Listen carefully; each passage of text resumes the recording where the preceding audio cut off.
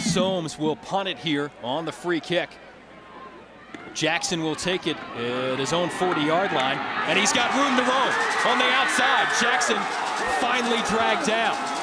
And that's Soames. You're watching body language. They're not dejected yet, but Sioux Falls offense, as explosive as they are, scoring over 50 points a game and 500 yards of offense.